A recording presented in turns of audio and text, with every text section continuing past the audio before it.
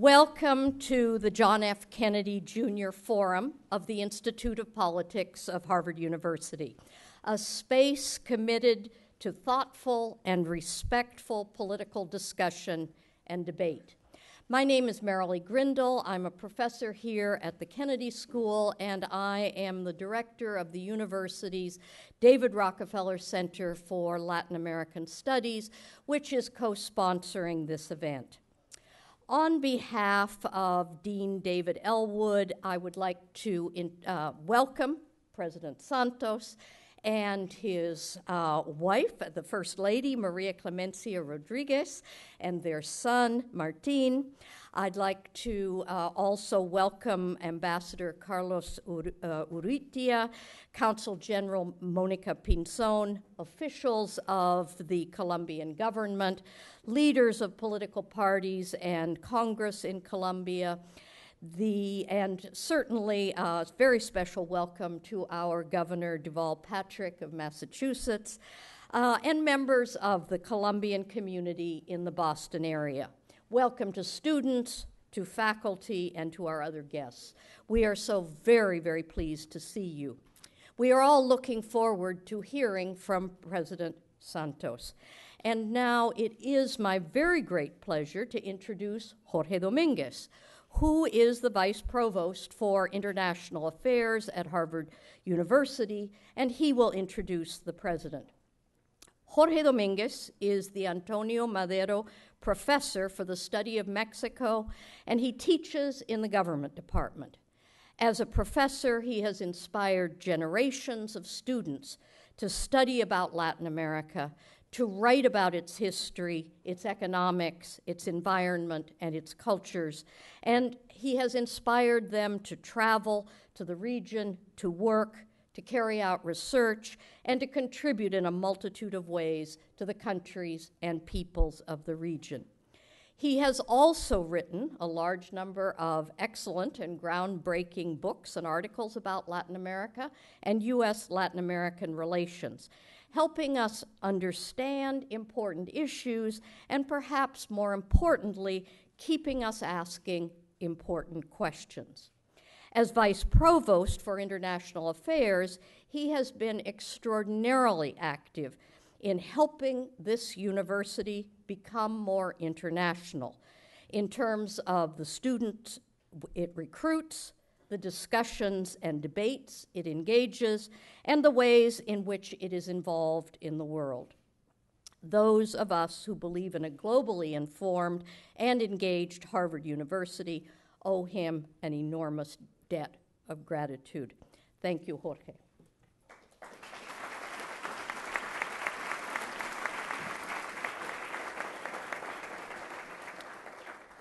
Thank you, Merilee, um, Mr. Governor, uh, members of the Harvard community and friends. Uh, it is an honor to welcome to the Harvard Kennedy School and to the university um, Juan Manuel Santos, President of the Republic of Colombia.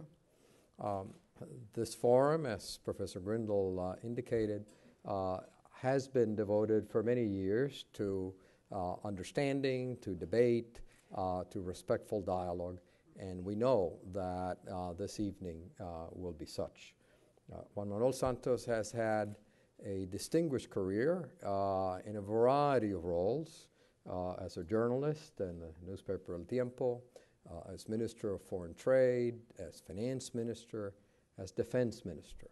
Uh, has devoted uh, efforts over a long period of time to seek to achieve peace under the rule of law in Colombia, to strengthen the Colombian state so that it can honor its obligations to its citizens under the Constitution, to seek to ensure the prosperity of the people of Colombia uh, and their broad participation, reflected in, to a significant degree in the massive support that he received on his election as President of Colombia uh, in 2010. Uh, for all of those reasons, of course, uh, I am honored to welcome him this evening.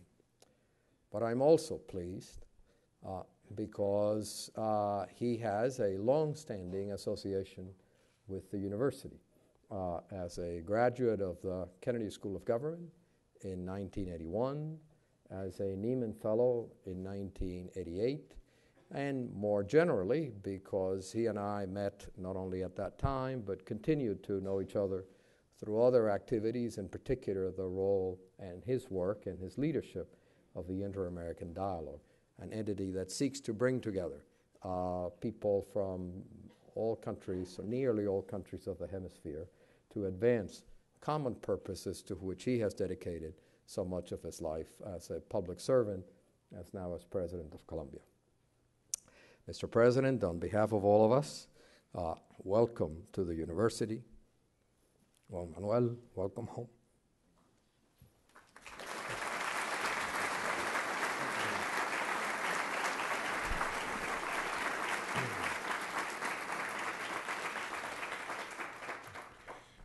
Well, thank you very much, uh, Jorge, for your kind words. He's been my permanent professor many, many years ago. And uh, I am very, very happy to be here. Mr. Governor, thank you for your recent uh, visit to Colombia, and I, you know you will always be welcome back. And the relations between the state of Massachusetts and Colombia, I hope we can improve them more and more every day. The director of the Institute of Politics, thank you very much for having me here. And thank you all for giving me this opportunity. I really feel very happy to be back at the Kennedy School. I remember uh, sitting down those uh, stairs many hours studying, and what I learned here, I've been applying throughout my uh, public uh, life.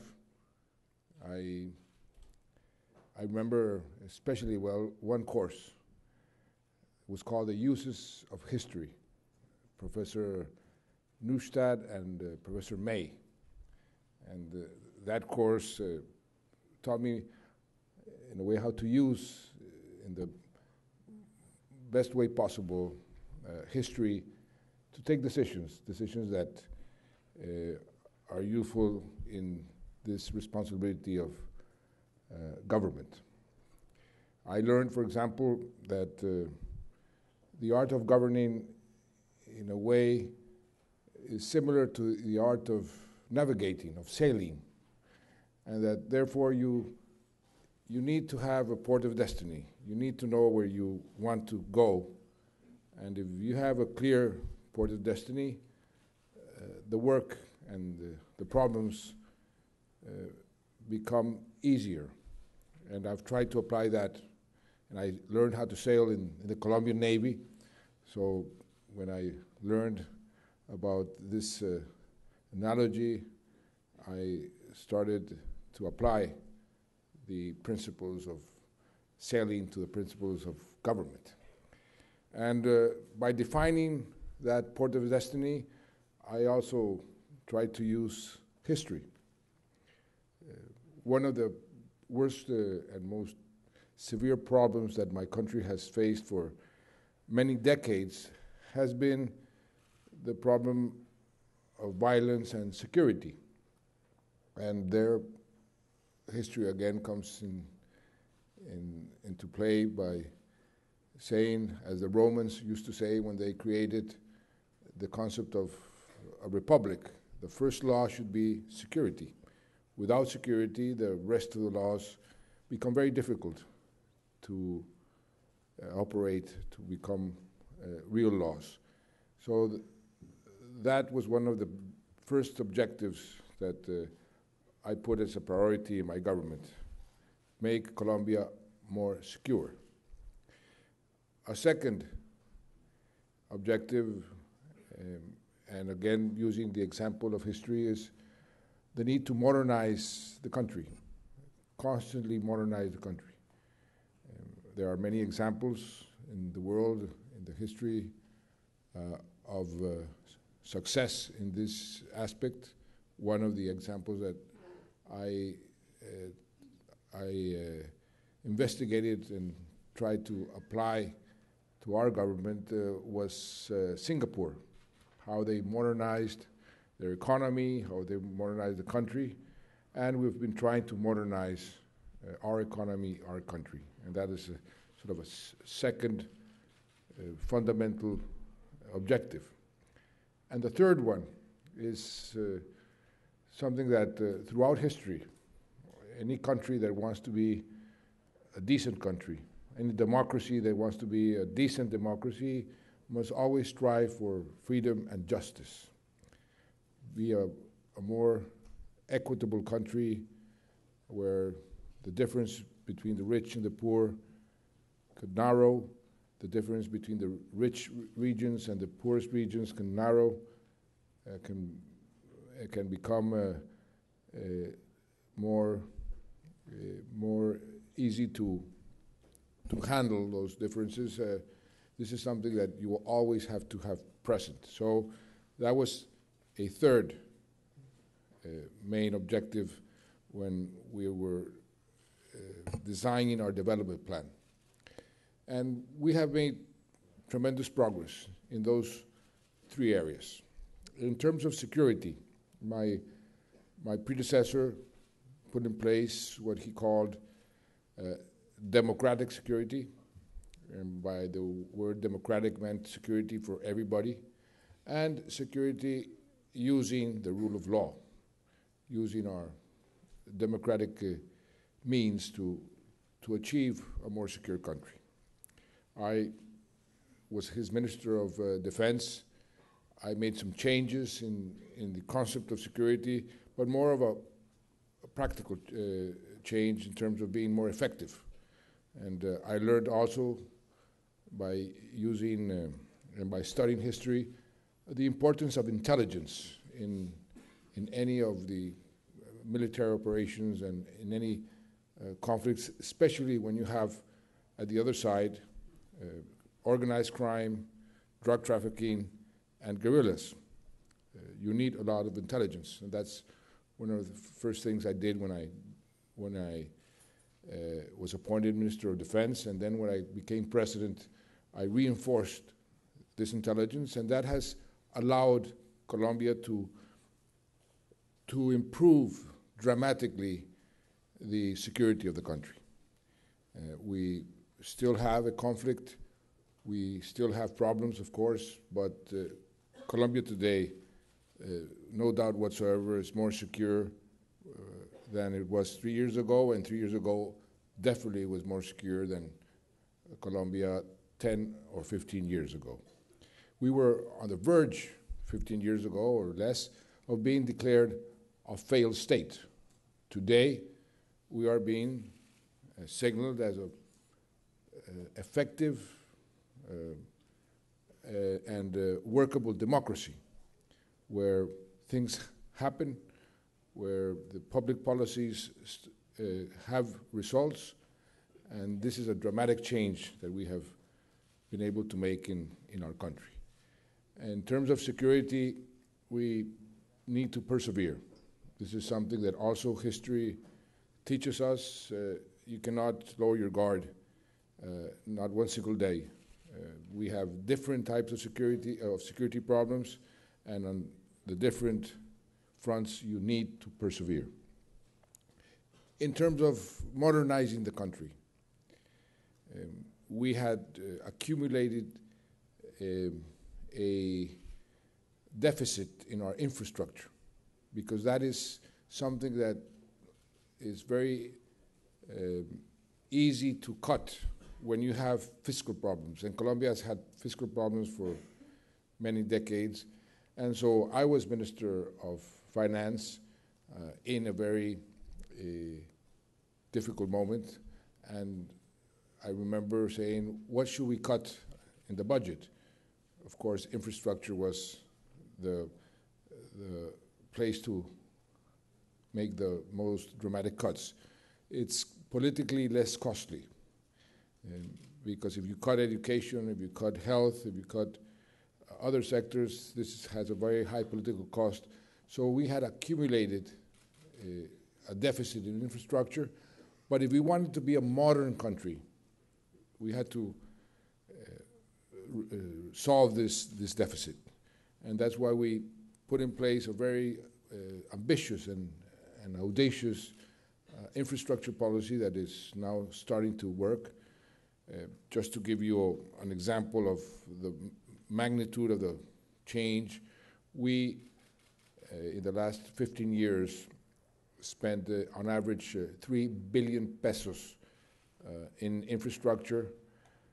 At this very moment, we are opening bids for roughly 47 billion pesos.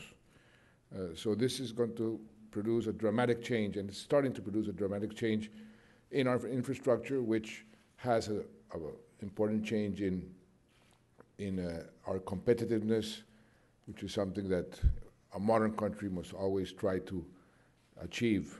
Uh, the more competitive you are, the best, the more, the better performance you're going to, to get. Another very important step that we took at the beginning of the government had to do with technology, the use of technology. As you all know better than I do, uh, technology is changing in, on a, with an exponential speed, and the effect of technology in, in the uh, development of a country can be dramatic. I, I uh, mentioned an anecdote that I had, an experience that I had, which, which uh, impressed me very much. Um, you, many of you know the Media Lab in MIT. Uh, Nicholas Negroponte uh, called me one day and said, uh, "Why don't we make? Why don't we uh, uh, try out an idea that I have?" And I said, "What idea do you have?" I said, "We have some laptops. why don't we go to a very remote town and give laptops to every child in the town.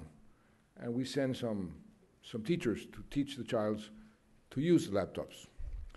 And I thought it was uh, an interesting idea.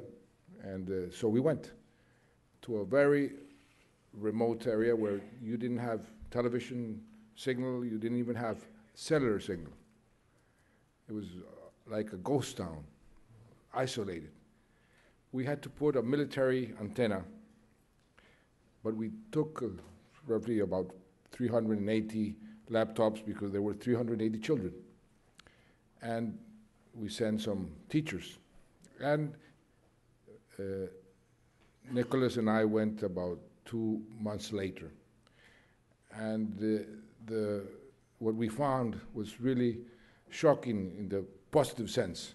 The kids had taken over the town, and they were, they were uh, giving orders to their parents. And their parents were behind asking them, uh, How do you do this? How do you do that? And it was an extraordinary experience. And I, I realized how, how important it was to, to use technology in order to, to speed up development.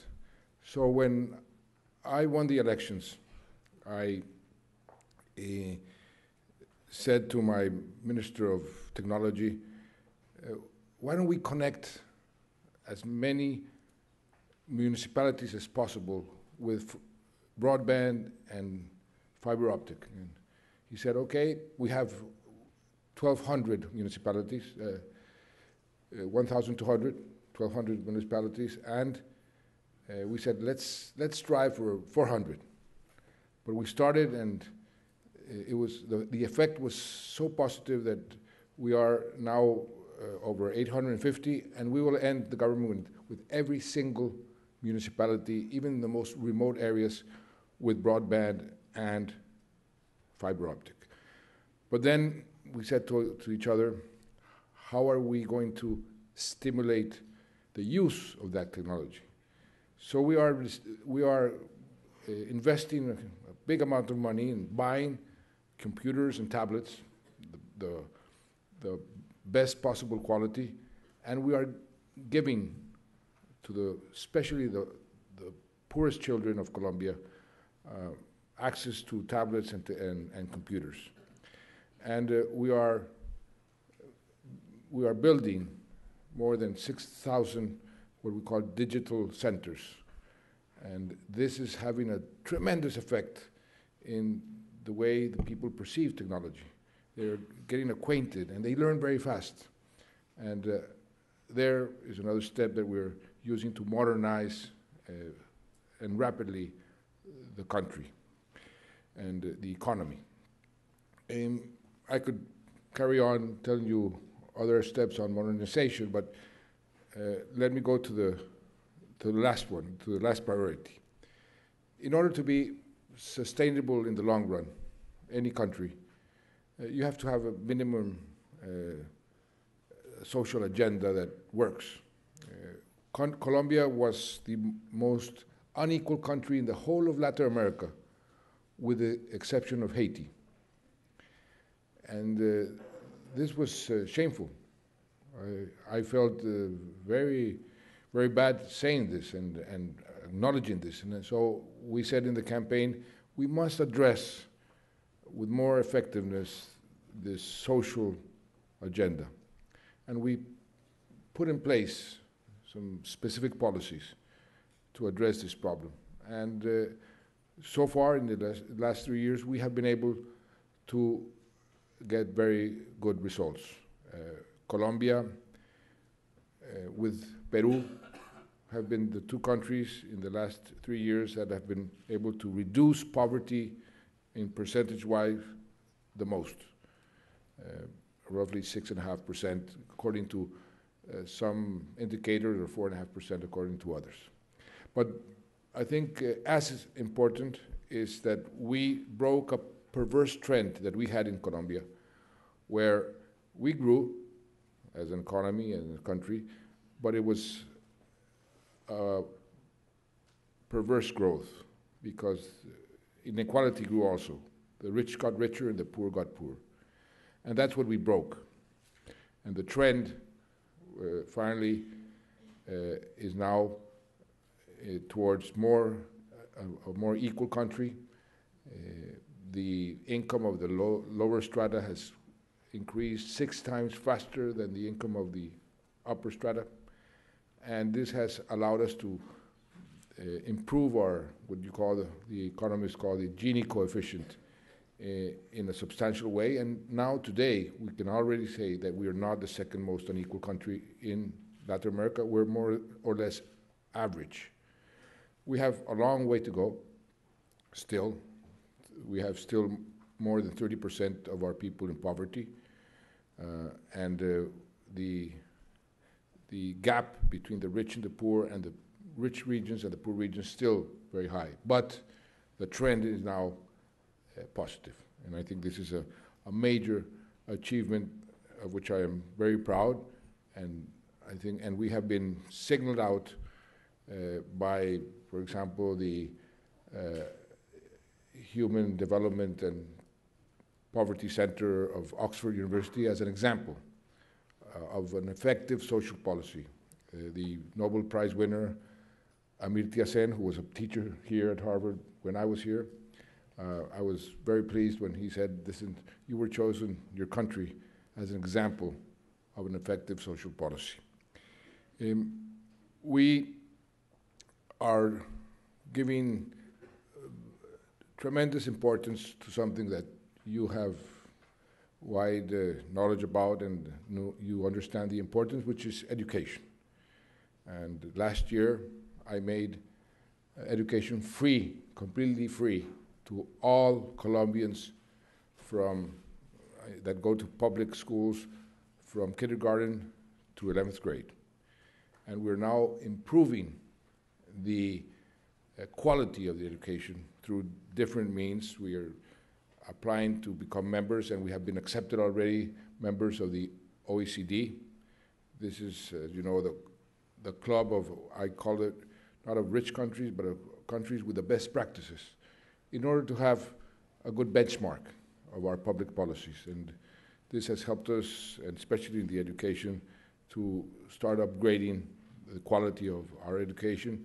We have expanded uh, quite a bit the access of um, university students to university, and we're promoting very much the, the creation of technical centers to uh, train and, and, and give the necessary preparation of uh, in the technical uh, area to, to many of our, our students, especially the graduates from, from high school. And there, of course, this is a long-term investment, but uh, this is a very important investment. Of course, um, uh, all these results, for example, the, the economy, this is another uh, sort of transversal priority that we had. We need a, uh, a stable and a strong economy. Otherwise, the rest of the efforts will be very difficult to, to achieve. Uh, the objective will be very difficult to achieve.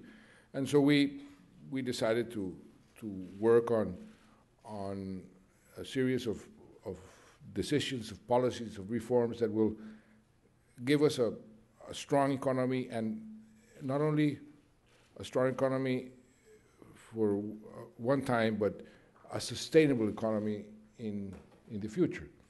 And we put in place policies that are working very well. For example, we received uh, the economy with a deficit of uh, 18 billion pesos. Last year, we ended up with a surplus of 2 billion pesos. And at the same time, we locked in uh, what we call fiscal responsibility through a constitutional reform and a legal reform uh, called the fiscal rule, which will uh, oblige any government, mine or any government, to spend within certain limits and, and prevent what uh, here the US is living or the Europe is living to accumulate deficit after deficit and suddenly the economy explodes. And I learned when I was Minister of Finance that this is a fundamental um, right that people should also uh, demand from a government. Because when I was Minister of Finance, I had to administer the worst economic crisis that the country had uh, suffered in the last 100 years. And I, I saw clearly, I, I, I had to take decisions that really uh, violated fundamental rights. Uh, I had to, to cut uh, expenditure in areas where people simply were out of a job or could not go to school or even uh, in health, the hospitals. And, and so having a, a good ma- macroeconomic environment is as important as a right to work, as a right to uh, a good health system, as a right to a good education. And it was a, a marvelous um, discussion in, in Congress. Uh, it was a political, philosophical discussion of uh, is this a, a fundamental right or should be treated as a fundamental right? And we succeeded to, in approving a law that, in a way, locks in and guarantees uh, fiscal responsibility in the future. And that has created tremendous confidence in the economy. And immediately our, our spreads went down, our, the interest rates went down.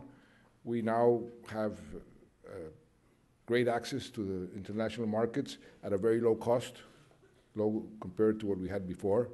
And this is a virtuous circle that we have been constructing. Uh, another thing that we have done quite successfully is uh, the creation of employment. We have been able to reduce unemployment month after month for, for 36 months in a row. Uh, not one single month has unemployment increased compared to the same month the year before. We have created more jobs than any other country in Latin America, and formal jobs, which is very important. Before we created jobs, but they, they were informal jobs. So all this is adding up to creating a, an environment which is quite positive. Of course, we have many problems. Um, people ask me, why were you able to have these reforms approved in Congress? Very difficult reforms. Another big reform that we did was uh, the, the redistribution of our royalties. Uh, that we decided to redistribute the royalties with a much more equitable basis. And I said, well, we have something which is very scarce in today's world uh, governability, the ability to govern. And uh, we acquired the ability to govern also using the lessons of history. Uh, this time was the lesson of uh, a former great American president, Abraham Lincoln, when he invited his rivals to become part of the government. And that is exactly what I did. When I won the election, I told my former rivals, uh, listen, you're different, you're, what, you are, what you were proposing in the campaign is not very, very different from what, I, what I'm proposing. Why don't we get together and agree and join the government? And we were able to create a very strong and uh, effective coalition. We call it the National Unity. Uh, we managed to have almost 90% of the Congress. And that has allowed us to uh, pass constitutional reforms and uh, legal reforms in an unprecedented way. Uh, never before, I think, had we been able to approve such uh, drastic and, I think, positive reforms. And so that has been the basis for the results that we are now seeing. And uh, of course, all this uh, has been done in the middle of a conflict, of a war, more than 50 years. Uh, we have had wars with the guerrillas that have been uh, the, the, drug trafficking has been like a poisonous arrow that has penetrated all of our violence. And uh, we have, and I had, this, uh, uh, I have decided to also learn from history.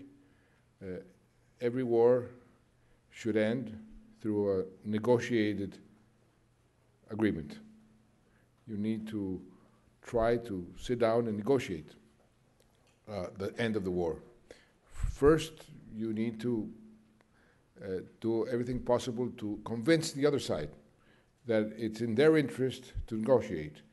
And that's why the military offensive was very hard, very strong, and very effective. And then the offer of a peace agreement. And uh, that's where we are right now. Um, we are negotiating in Havana. Um, and I hope that we can end a 50 years of war, which will, in a way, liberate the real potential of my country. Uh, because this potential has been restrained. Uh, there was like a brake uh, by, a, by this conflict. Uh, investment, the perception of the country, the way people uh, for example, invest in the countryside. They invest very short term. The presence of the conflict has been a nuisance. The problem is that we have been got accustomed to, to the conflict. And like it was a day to day situation, a normal situation. This is very bad for any society. So we are trying to get rid of this conflict, uh, trying to convince the guerrillas to change their bullets for votes, to change their arms for arguments, and to continue the struggle, but through democratic means. And uh, they will have all the guarantees, and I hope they realize that this is a great opportunity for them. It would be a great opportunity for the whole country. And if we achieve this peace, then the other objectives will be will be much easier to realize, to, to obtain. Uh, it's not easy. I can tell you something which is, I've experienced it uh, personally. It's much easier to wage war than to try to achieve peace. Uh, much more popular to wage war politically.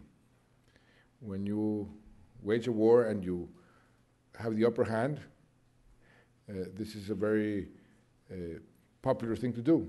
And you show the bodies of your enemies, and people applaud. But trying to make peace uh, has all kinds of difficulties. First of all, there are enemies of the peace, people who don't like peace or who live out of war. Uh, and uh, these people take advantage of the contradictions of a peace process. For example, I put two conditions uh, since the beginning of this peace process. One condition is no ceasefire until we reach an agreement. Why did I did, did, did I did this? Because again, history has taught us, has taught me that uh, the guerrillas are experts in taking advantage of ceasefires. And in the past, the upper hand militarily was in their hands, not in ours. Today, the situation is different. So it's against the interest of the, of the state, of the government, to have a ceasefire. But more importantly, if we want to get rid of the conflict, uh, if we want to end the conflict, then let's end it once and for all. But if you make a if, if you if you agree a ceasefire, and they maintain their arms, there's a perverse incentive to prolong the negotiations eternally. So that's one of the reasons why we uh, made this this condition. We imposed this condition. Uh, of course, it's difficult uh, to explain to the common to a common person that you are talking in Havana and shooting in, in Colombia. Uh, there's a apparent contradiction. You have to be, you have to be very pedagogic. Uh, you have to teach them uh, and explain to them clearly why this is better than a ceasefire. Or, for example, be the uh, condition that nothing is agreed until everything is agreed. And the agreements must be, uh, in a way, secret. They cannot be made uh, um, public until we have the whole agreement. Why did we put this condition? For a very simple reason. Uh, we agreed on an agenda, and each item of the agenda by itself is liable to be misinterpreted or simply misused by the enemies of the process. If you ask the Colombian people, would you like uh, the FARC to participate in politics? The majority say no. These people have been only kidnapping, killing, uh, uh, recruiting kids. Uh, they deserve nothing. You ask the people, uh, would you like the FARC to be members of uh, Congress? They, people automatically say no. They don't deserve to be in Congress. They are X and Y, and they, they certainly not. But if you ask the people for a whole package, you know, with this ingredient and this other ingredient and they'll be a, uh, they will give up their arms and they will uh, peace will come and these are the benefits when you have the whole package people will say yes. It's like I, I use the analogy of a a painter who wants to sell his painting. He won't allow the uh, the potential buyer to come into his studio and see the painting when it's 15% or 30% or 50% painted. No. He wants to complete the painting and then show it to the prospective buyer and says, you buy it or not. And that's what I'm trying to do with the Colombian people. I said, wait, uh, wait until we have the whole agreement. And you will have the opportunity. This is the first time that uh, a country is going to put to the people uh, the decision, the ultimate decision, if there is peace or not. And uh, we I have promised that uh, when we have the agreement, this will be put to some kind of referendum or some kind of decision by the people. And we are the first country who is negotiating under the Treaty of Rome. And so, in, in a way, we're becoming a, a precedent for other countries that would, in the future, would like to solve conflicts in the way we are doing. So, we, in a, in a, in a, in a way, we're becoming uh, a guinea pig uh, in the solution of conflicts. Uh, I was telling, I was discussing this yesterday with the uh, Attorney General of the International Penal Court in Colombia is, is now a precedent, uh, and we must be very careful on, on giving the correct signals and, and hopefully doing things the better, the correct way in order not only to succeed in our peace, but to leave a precedent for future cases of conflict resolution. So we're in that stage. Uh, I say that building peace is not only uh, silencing the rifles uh, and what is being agreed in Havana, but doing the other things that I, I, I was explaining more social investment and effective social investment, more equality, more social justice. That's a way of building peace. And uh, I am hopeful uh, that uh, we can uh, uh, we can reach an agreement and that my kids and my grandkids will see a country and enjoy a country in peace. I haven't been able to enjoy one day of peace. My generation, or the generations that has followed me, uh, have had to live in a country in war. And um, as I said at the beginning, we get accustomed to that, but we should not. It's terrible. More than 220,000 people have died. That's more than double of the people that were killed in Bosnia. And we have more than 5 million people displaced.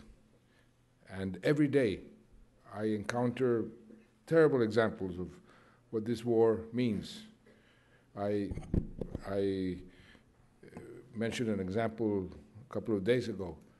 Uh, it was a very recent example. We are uh, giving away uh, houses to the very, very poor that don't even have a, the possibility of saving one, one peso. And we, we're allowing them to have access to, to a decent house. And uh, this person came, he had uh, lost a leg and uh, I he came up and I gave him the keys to his to his new house. And I said, uh, "Congratulations! Uh, what happened to your leg?" And he said, "I lost it in the war." And I said, "Well, I'm I'm sorry, but now you can enjoy your family uh, uh, in this new house." And I explained what the house was, and and he said, uh, "Well, I'm sorry, Mr. President, but I I will not be able to do that." And I said, "Why?" because my wife and my two kids were assassinated by this war also. These are the types of dramas that I encounter every single day. And that's what I hope we can stop in Colombia. Colombia is a great country with great potential. And if we are able to uh, find peace and release the real potential of all Colombians, then sky is the limit. Thank you.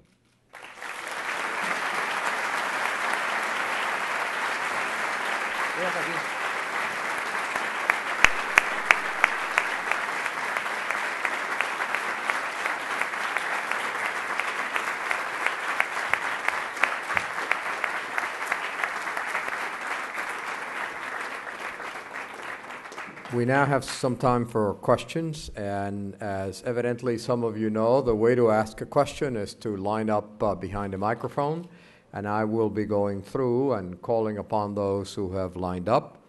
Um, I also want to remind those of you who have been here before and inform those of you who are at the forum for the first time that uh, there, are, there is, first of all, the spirit that my colleague, Professor Grindle, indicated before, this is about dialogue, respectful, civilized, in, a, uh, in our university.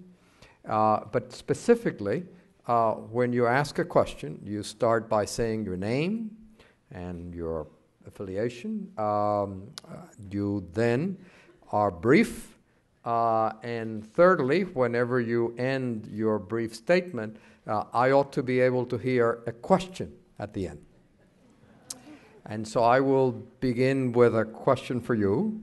Uh, why is this time different? So there have been negotiations between the FARC and the Colombian government in the past. In the 1980s, some from the FARC who put down their weapons joined the Unión Patriótica were then assassinated. Uh, under the Pastrana presidency, there was a ceasefire, and the FARC violated it and took advantage of it. What today would give the FARC reason to believe that its members would not be assassinated if they lay down their weapons? And what today would give you confidence that the FARC would put down its weapons under the rule of law in Colombia and join the law and the Constitution? Well, I think the conditions of Colombia today are very, very different from what they were 10 or 15 years ago. Starting by something that I mentioned, which is the military balance.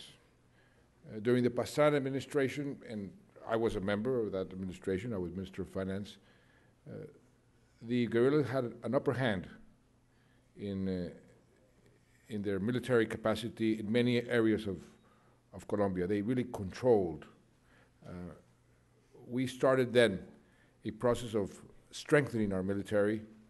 Uh, we started Plan Colombia with the United States, which has been probably the most successful bipartisan foreign policy initiative that the United States has made in the last, I don't know, 30, 40 years. And uh, so it's, it's a different conditions. Uh, we now have control of the territory, and for the first time, they have even made this explicit. They know that through armed struggle, they will not achieve anything.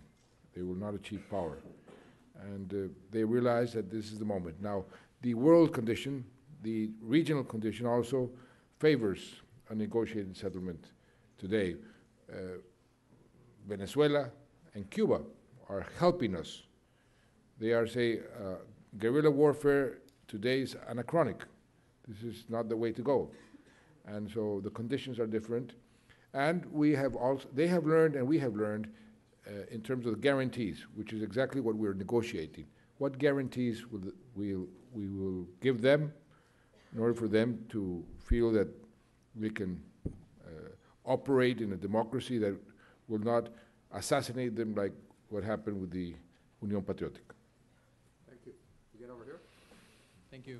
My name is Juan Remolina. I'm a HKS student of the MPA program. Uh, Mr. President, you mentioned that it's time to stop the conflict. And one of the main drivers of the conflict is corruption. And the Colombian government has implemented several strategies in order to fight against corruption. Um, however, according to the last results of the World Economic Forum, corruption reaches the highest and historical levels as the most problematic factor for doing business in Colombia. And what is more distressful, um, the percentage of Colombians who justify corruption has increased for the first time in the last four years. So my question is, do you think Colombians' efforts against corruption have been enough? If not, what should be the next steps? Thank you very much. Yes, corruption has been a, a terrible problem in our country. Uh, if I say, if I ask what, to myself, what has been one of the worst consequences of, of having drug trafficking in Colombia is that it corrupted the moral fiber of our society. And we have been trying to uh, fight corruption in, in every way possible. We institutionally uh, set a, a special uh, advisor to the president with power to implement anti-corruption policies. we approved in Congress for the first time uh, a very severe anti-corruption law. This was had never happened before, and we are discovering uh, cases of corruption that before were hidden, and uh, this has an effect of people saying, "Wow, look at the corruption." The corruption was always there, but we're fighting it, and we're focusing the light of the government and of public opinion on the, on the most dramatic cases. This has a short term uh, negative impact on perception. People say, look at, look at what happened, look at, look what, what they discovered. Uh, and they say corruption has gone up. But in fact, corruption has gone, is, is starting to come down in terms of uh, the brakes that we are putting uh, in the different uh, cases where we have been able to uh, to work uh, effectively and concretely. Uh, this is a, an ongoing struggle. Um, as I say, one of the legacies of drug trafficking has been corruption in every echelon of the Colombian society, but I, I truly believe that we are making progress uh, towards a more transparent country.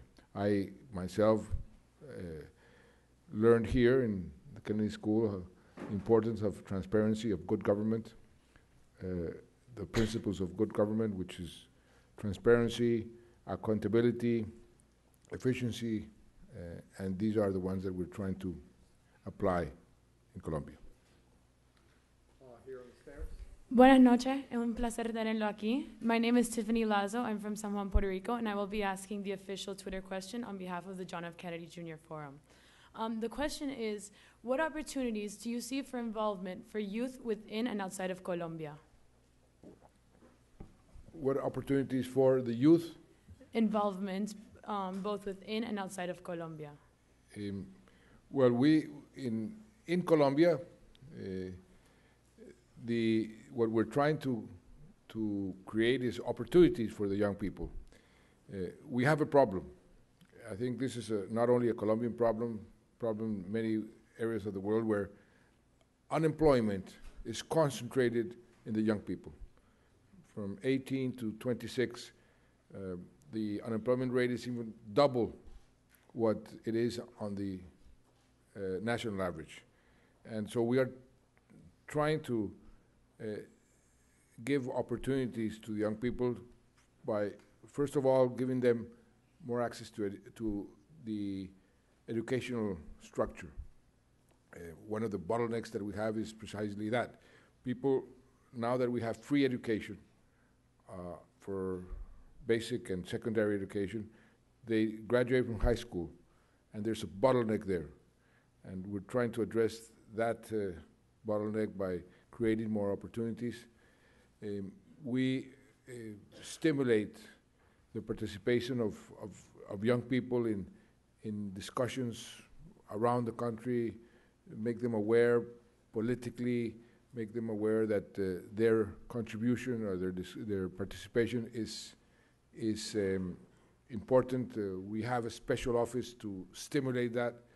Uh, it's, I, I, tell you, sometimes it's not easy.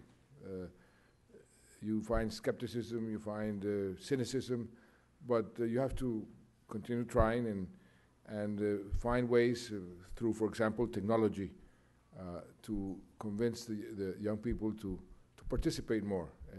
I think one of the assets that, that we have in Colombia and in Latin America is we have uh, a young population. This is, must be a, an asset and, and not a problem. Uh, but you have to offer them better and better opportunities. Thank you.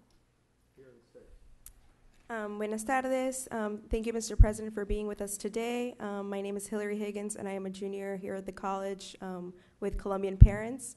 Um, and my question is um, if the peace, uh, the peace negotiations are successful, then what strategies could your administration or the next administration implement to sort of impede the formation of criminal bands um, that often arise out of the demobilization of guerrilla groups, such as that, those that arose out of the demobilization of the paramilitary groups um, that are still a problem in the nation today?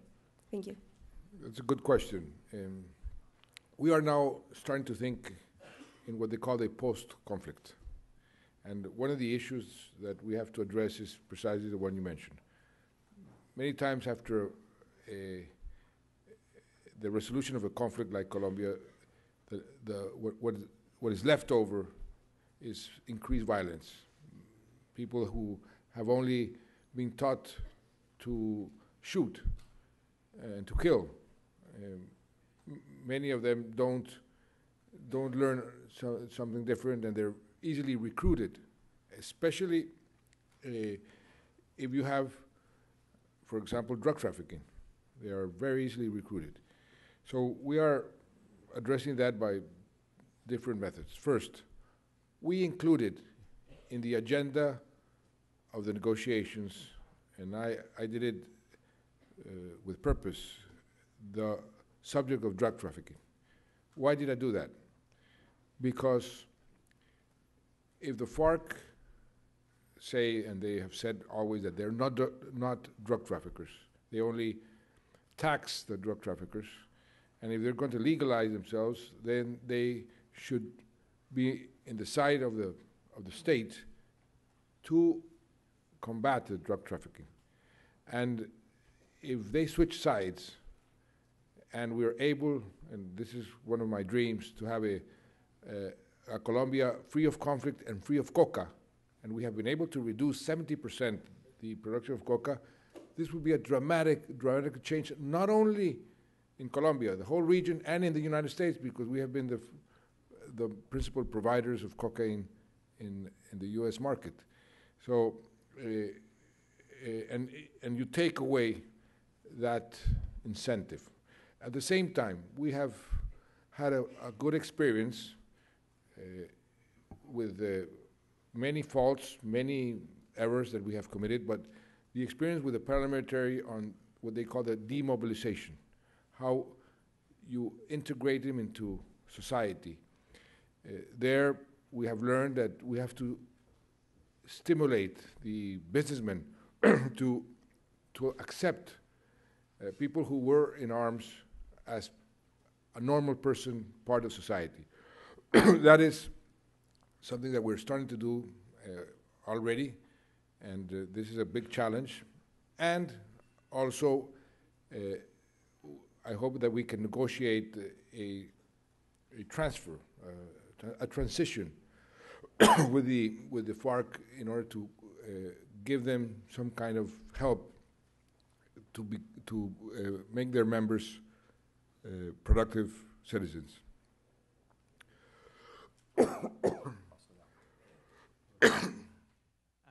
President Santos. Um, my name is Antonio Copete. I am a postdoc at the Center for Astrophysics here at Harvard, and I'm from Colombia.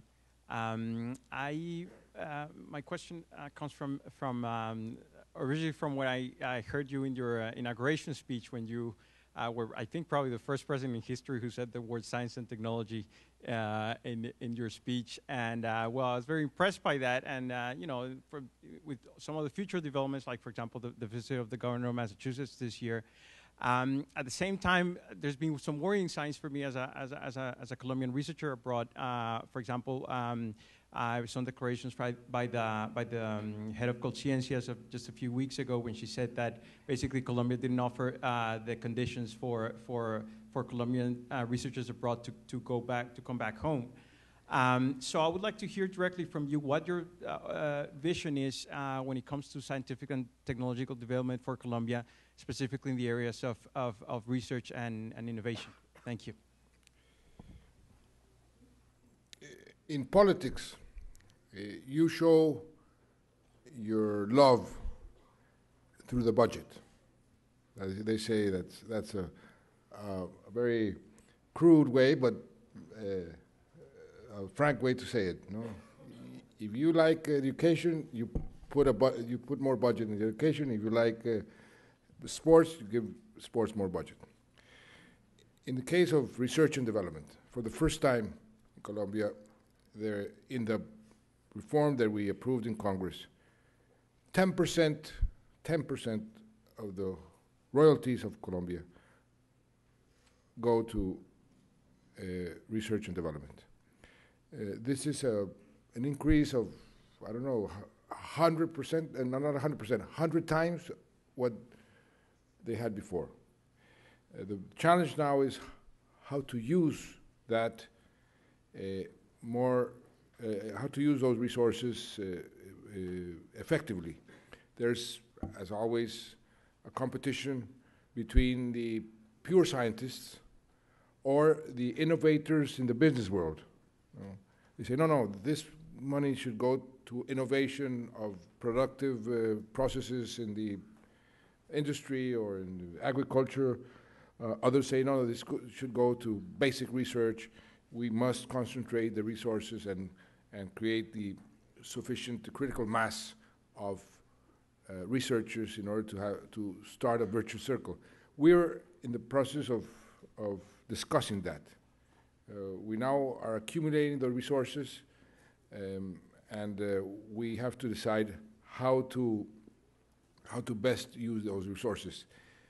I must confess that uh, I am a bit um, sorry that I didn't think about the institutionality of innovation. Innovation, uh, when, when my development plan was, was published, we had five locomotives. We said the engines of growth of our economy would be uh, infrastructure, the, the agricultural sector, housing, oil and mining, and innovation. Innovation has been the most important factor in the growth of most of the Asian countries. Uh, they increase their productivity through innovation. Latin America in general, Colombia is one is part of Latin America. We have very low productivity. The culture of innovation, we're just starting to to uh, to stimulate it, and I failed in, in not in not uh, uh, thinking of a of a good uh, institutionality to promote innovation, and I think we must uh, address that uh, vacuum uh, soon in order to be more effective in the use of those resources. Question over here. Hello, and thank you so much for being here tonight. My name is Carolyn Roderer, and I'm a junior here at the college, as well as a member of the John F. Kennedy Jr. Forum Committee. And tonight, I'm asking the official question on behalf of the committee. In the past, you've expressed concern about climate change, but given the importance of the oil and gas industries to Colombia's economy, how do you reconcile your desires for a strong economy and your desire to combat climate change? And how can Colombia respond to these shifting needs going forward? Great question. And I, I question myself every day on, on that issue. Uh, Colombia is a very rich country in terms of uh, oil and minerals, and we are extremely rich in terms of biodiversity. We are the richest country in the world in biodiversity per square kilometer. And uh, how to address that? Uh, as a matter of fact, uh, yesterday morning, uh, 8 o'clock in in, in the morning, we launched an initiative that has been chaired by Felipe Calderon, former president of Mexico, who is now in the Institute of Politics. He's chairing this commission. We launched it with the Prime Minister of Norway, seven countries that uh, we're going to try and find an answer to that question. How can you make economic efficiency compatible with the need to stop the climate change and to protect the environment.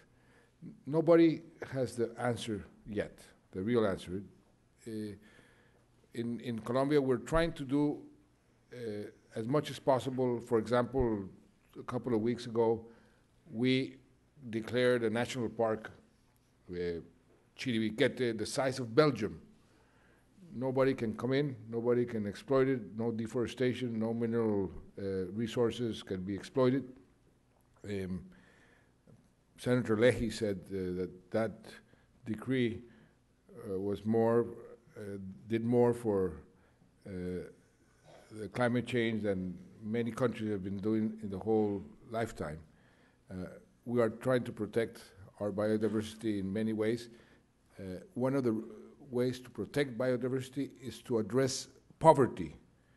One of the people, people who are in a bad shape, they go and simply uh, cut down trees because they need to live. And so a good social uh, agenda is also a way to address this problem. But this is uh, the big challenge that the world has and a great challenge that Colombia has. Colombia is a very vulnerable country Uh, in terms of climate change. When I, I'll, I'll tell you an anecdote. When I was inaugurated, I went before Congress, I went to the Indians of the Sierra Nevada.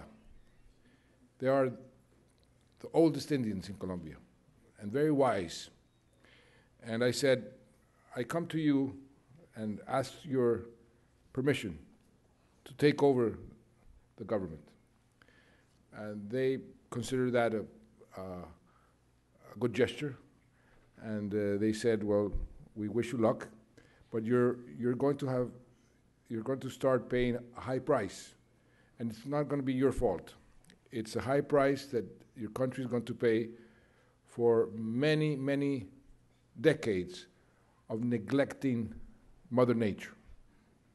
And uh, in the next year, year and a half, you're going to pay the price. Uh, I'm sorry, but uh, you are not to blame, but you are going to pay. And the worst uh, floodings and the worst uh, rains that we have had in our history, the worst natural disaster uh, came to us, and I had to spend many, many, uh, a big part of my budget and a big part of, of the energy of the government addressing this problem. Uh, so it's we have learned. I remember Vice President Gore going to Colombia and telling us something similar, saying Colombia is ex- extremely vulnerable. You're very rich, and you are becoming a sort of a, an example. And what you do, people will will analyze it very carefully. We participated very actively in the Rio summit. Uh, we were the ones who proposed the sustainable development goals. Uh, we made part of the panel with Prime Minister Cameron of, of uh, making these goals uh, uh, measurable, and, and we're working hard on that. But I confess to you, we don't have the exact or correct answer. We are working on it. Thank you. Last question over here. Hi, um, my name is Jonas Haltzman. I'm a freshman at the college. Um, you mentioned that uh, when you came into office, you inherited a deficit of 18 billion pesos, and you now have a surplus of, of 2 billion pesos. um, and you did that all while making significant investments in, I think you said, education, access to technology, infrastructure. So I'm wondering how you, what policies or strategies allowed you to achieve those, those uh, maybe contrary goals at the same time. What policies? What? Sorry. Could you ask? What, poli- what policies or strategies allowed you to make significant investments Oh, at the same time. while improve, while Okay. eliminating your deficit? Uh, Good. Uh, Yes, I, I, uh, apparently it's a contradiction. You spend more, yet you reduce the deficit. Uh, We increased by roughly 40, 45% the revenues through uh, eliminating tax breaks for the very rich and through more efficiency in the uh, tax, in the, in the uh, administration of the, of the, of the taxes, of how, how you collect the taxes. And uh, also, the economy grew faster, and then therefore you got more, uh, more revenues. The royalties went up substantially. You got more revenues. So we were able to, we were lucky, but we were able to uh, combine more investment, and uh, hopefully the investment will produce more revenue in the future. Uh, and that's, that's the, the way we're approaching that. For example, infrastructure. The, the infrastructure, what we're doing is there is a, a scheme called the private public associations. Uh, there, through those schemes, you, you use the private sector and the private capital to do a lot of the work that the government uh, usually does in, in investing, for example, in infrastructure. So we're using different combinations of uh, to use more efficiently the scarce resources that we every government has. I want to close by thanking you, Mr. President, for the, your remarks, uh, for answering uh, so many questions. I want to thank everyone uh, that is here, and in particular, I want to thank you on behalf of the faculty and students of the university. Thank you very much.